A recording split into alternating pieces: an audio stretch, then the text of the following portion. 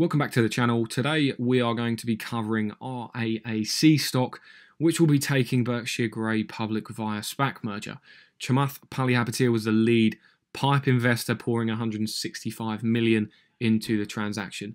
As we can see by his announcement on Twitter, this company has some really high growth expectations. They're predicting a 99% compound annual growth rate up to 2025, which is over a 25x in revenue from today. Quite remarkable and makes you wonder can any stock be overvalued with a 99% compound annual growth rate over five years? As you would expect, though, on the announcement, the stock RAAC has jumped somewhat, only by around 20 to 30%, making it slightly more expensive than originally calculated. But that's fine because, as always, we're going to do some number crunching ourselves and see what kind of value exists within this deal today. We're going to jump into Chamath's investment thesis, we're also going to look at the investor presentation that Berkshire published and do a little bit of research on the market itself, see what the opportunity is. But firstly, let's just listen to this very short clip explaining what Berkshire Grey is and does.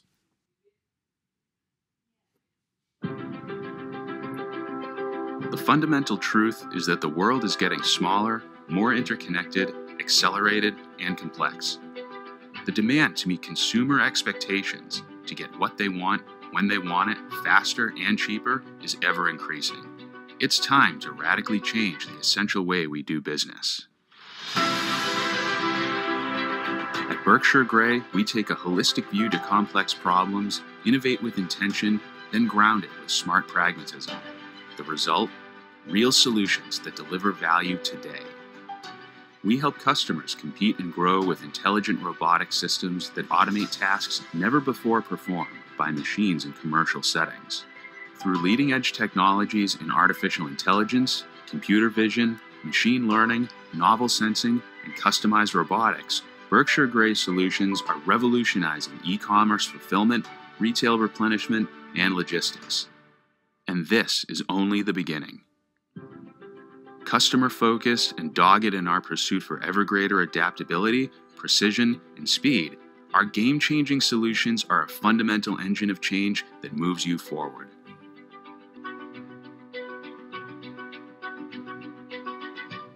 Okay, so that tells us fundamentally what Berkshire Grey does. They are a robotics and AI business offering software that helps customers, particularly in retail, automate their warehouse operations. Most notably, they have secured high profile customers such as Walmart, Target, FedEx, and TJX which says something about the company, even though it's in its early stages. Let's jump into Chamath's investment thesis and see if we can make sense of the investment case. So, in summary, Chamath feels the landscape for automation in the back end of retail and some other areas is rapidly changing, and demand for automated solutions is becoming greater than ever. This is driven mainly by consumer demands for faster, cheaper, and better, with free shipping and next day delivery becoming the standard. Brick and mortar retailers are definitely feeling the pressure and need viable solutions. The market itself is huge, with global warehouse total addressable market reaching $280 billion annually.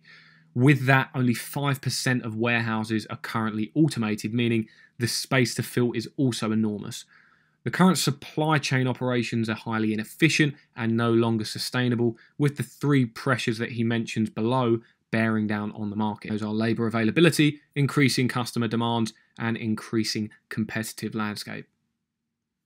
In his qualitative analysis, here Chamath breaks down their competitive edge, saying Berkshire Grey combine AI with patented hardware, meaning they are a completely unique product offering because no one else can steal their patent. They combine their robots with Berkshire software that helps customers automate tasks with ease. Their products are functional and ready to implement immediately, meaning they provide an immediate impact to the customers which they serve in respect of increasing productivity in a more efficient way and, and therefore accelerating revenues and reducing costs. So they are becoming a very important asset for a company to deploy.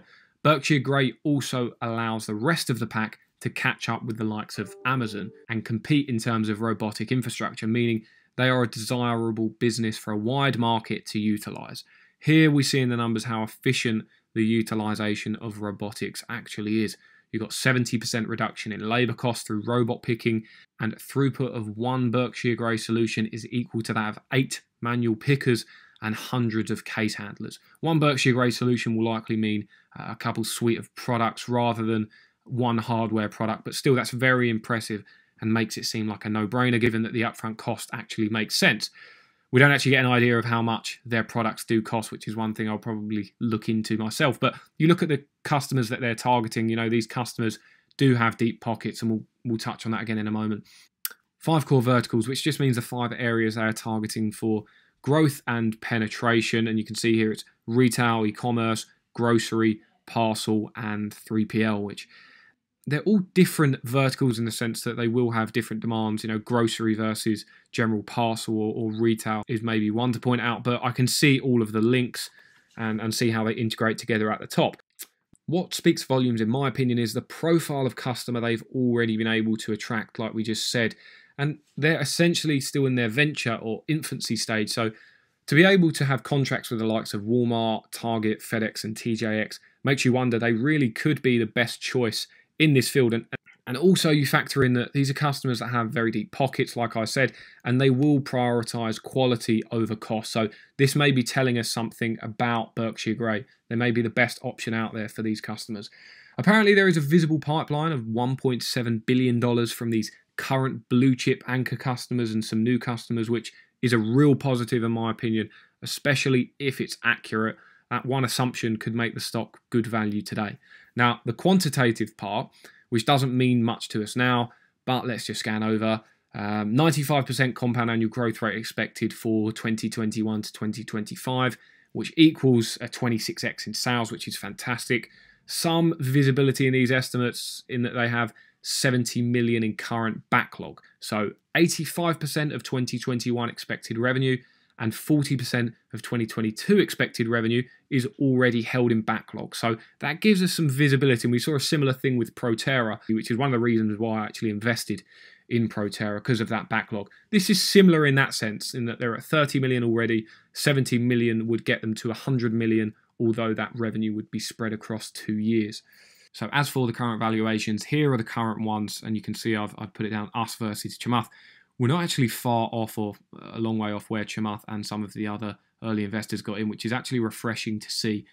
As you can see, it looks really expensive currently, being 46 times 2021 EV to sales. But that growth rate that we have here, that 93% compound annual growth rate over five years, just eats at that multiple we pay today and brings it down to a more attractive value in 2025. You've got a 5.3% free cash flow yield on the 2025 expected, 11.9 times EBITDA and then almost three times sales, which makes it seem more attractive. You know, Chamath didn't get that much better. That being said, 93% compound annual growth rate here on the top line revenue will be the upwards end of what is achievable. They won't be lowballing this here. I should also point out that gross profit, I'll just flick over actually to their investor presentation financial model they gave us. I should point out gross profit scales up quite a lot in their projections, which I always get a little bit cautious of, especially given that their projections told us most of their five year growth was coming from their current products and robotics as a service, which we'll get to in a moment, would be introduced later. Usually you see it move up a bit, but this is going from single digits to nearly 48%. And this usually implies that they benefit from economies of scale in a big way. However, it's one of those things that, you know, it's so recognizable that I'd be surprised if there wasn't a valid explanation for it. And I'll dig for that explanation and let you all know. One thing I probably should mention, they gave us the shares outstanding for pro forma the transaction. All shares are going to be set at $10 per share or when the transaction happened. So from that we can get an equity value and then they have no debt whatsoever and then 507 million of cash which gives us our enterprise value today. And as you can see, it's only about 500 million more than what the original investors paid. So you can see just by the numbers, there's a lot of potential in this company. Obviously, given the numbers that it's putting up, the growth that it's putting up, I also like the fact that we're getting in near the same levels as the initial investors. So they've got skin in the game at exactly the same time as us. You don't see that often, like I said. Let's now browse through the investor deck and see what the opportunity is here.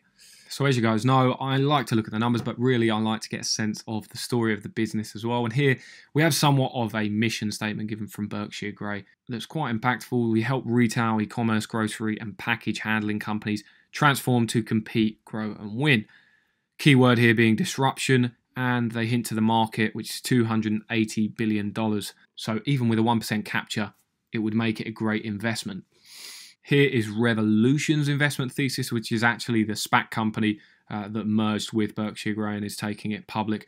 They lead on a little bit further as to what Chamath was saying, so they added a little bit more detail. Pause if you'd like to read it all, but it's pretty much what we've covered. One thing I will say, though, that stands out that we didn't cover in their business model is they're looking to move to a more asset light business model and turn more to recurring revenues and recurring revenue streams with robotics as a service.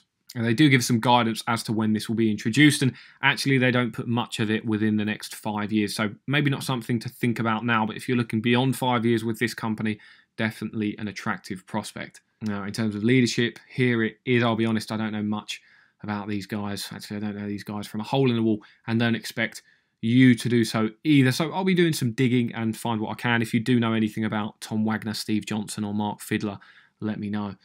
Here's the market opportunity and how they break it down. 280 billion total TAM, which we covered. 230 billion of that is total annual warehouse labor spend, and then 56 billion on automated material handling equipment. And that's expected to grow at 13% per year. So a little bit of a tailwind there on that $56 billion TAM. Uh, the migration in general to robotics and automation, or the need for migration, has picked up some tailwinds, as shown on the right hand side. Here we've covered 5% of warehouses are currently automated, which is a small number. Emerging and rapidly growing e commerce, retail, and logistics industries. And I think the biggest thing here really is just demand and need for retailers or warehouses to cut costs down and make it a more efficient process. That's really going to drive the change here. Quite notably, they point out that Amazon have spent 180 billion on R&D and 93 billion on capex related to robotics, meaning they've set the pace and it's only natural that some of Berkshire Grey's potential customers ramp up that spend to adapt and compete. But it gives us an idea of if someone like Amazon, who's pretty much a pioneer in the retail or e-commerce space is spending that much on it, then it's going to be something that others follow suit with. As for their business model, if you haven't actually grasped it yet, they develop systems that use artificial intelligence, uh, mobile robots, and scanning, gripping, and sensing technology to actually pick orders and then speed those items through the distribution centers. So they're more like robotics to use for just picking up items and, and moving them through the process. And a little bit more about this $1.7 billion pipeline or this visibility pipeline that they see. And, and this is important because if they really do have this pipeline and it is accurate, then this takes them beyond even what they were estimating in their projections.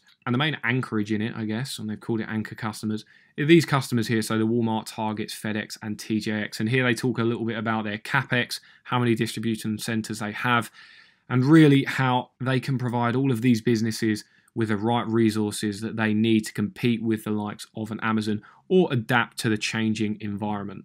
I haven't quite, you know, got down to whether this 1.3 billion dollar five-year pipeline that they have, whether it's something they've actually managed to negotiate with these customers, or it's just something that they've plotted out and said we could squeeze this out of them over a five-year period. Haven't been able to actually get to the bottom of that yet, but I will look into that because it's a very important component of the valuation. Okay, so back to the numbers. We've just covered obviously what, what our price would be versus Chamath, but now let's dig into those revenue figures and try and work out how feasible they actually are. As we mentioned, they do have 70 million in current backlog. So with the current revenue being 35 million, as mentioned, they do have about $70 million in current backlog, which hints to the demand for their products. And this should get us fairly smoothly to our 2022 expected revenue without too much hassle as they're already at 35 million. As for the 927 million in 2025, like we just covered, it looks like they feel the likes of Walmart, Target, FedEx, and TJX, some of the blue chip customers they have, will ramp up their spend and contribute a large part to that 927 million. As for new business, I didn't see anywhere that disclosed some of their other customers, but, but we do know they're targeting five different verticals, which will allow for a very large pool of customers if you think back to the industries that they're going to be tapping into. Another thing to always check with these projections is how much cash are they likely to burn. So here we're going to have three or four years of cash burn or, or, or, losing money. So we've got to check that do they have enough cash on hand or are they going to have to be raising money again to actually get to profitability? or at least turn into a company that has self-sustaining cash flows and can reinvest their cash flows. So they have 507 million in cash on hand from this transaction, as well as some that they had already. So it doesn't look like a huge worry for now. It looks like the cash burn will be anywhere from 260 to 360. So let's say 300 million they'll burn in the next three years. So that doesn't concern me too much. And here I've done a quick calculation to estimate our likely investment return if we were to buy today and they pull off these projections. So with an expected 15 times sales in 2025, just taking that number, and I've gone with 15 times sales, and the logic there uh, comes with the fact that, that year over year revenue growth is over 100%, and then earnings growth during that period is over 350% in the final year. So 15 times sales would actually be super cheap. But you never know if interest rates rise and continue to go up, those multiples in the whole of the market, and especially the high growth companies, will start to come down. So going off of that, that would equal a 5x return today, which more accurately is around a 37.5% IRR, which is a very high number. Now, this tells you with this number that even if they don't quite hit these numbers here and these projections that they've set themselves, but can get close to it, you're still going to have a good return. So it's quite obvious the numbers are great. If you can take management's word that they'll actually achieve it, then it could be a great investment. The, the real question is how accurate are these forecasts? And unfortunately, it's a little bit of an unknown industry and, and not something that I've had great exposure to myself. And a couple of things that we didn't cover here in this video that I'd suggest you guys look into if you want to make a serious and accurate judgment on these predictions and invest maybe a large amount. Competition, find out if there is any viable competition, even though it's a very new industry with complex products and needs. If there isn't any, then that definitely tells you something and is a massive positive, in my opinion. I haven't been able to find much in the way of competition so far. Find out the history of management and success and failures are obviously a big thing if you can look into that. Find out the margin potential of the industry itself High margins attract competition and usually powerful competition. One hint was the likes of Amazon purchasing a robotics company rather than producing their own. So they've decided to just acquire a company and rather than go about it in their own way, maybe because it didn't seem viable and the margins weren't great for them themselves. Find out more about robotics and AI. Try to understand how easy it is to replicate their business model. That's going to be a big thing. And then I'll be looking into all of these as well as producing a rough valuation model that's a little bit more sophisticated than this, like we usually do on Berkshire Grey. Hopefully, I will post a link either on membership or community tab or upload it as a video so you can all see that as well. Hope you enjoyed watching this one. Does look very intriguing. Let me know if you have any inside or helpful info into Berkshire Grey or just your thoughts in general. Leave a like if you enjoyed the video. This really helps out the video and the channel in a big way. Subscribe if you haven't already and put the notification bell on so you know when the next deep dive is up and hopefully that will be tomorrow. Thank you for watching. Good luck with all your investments.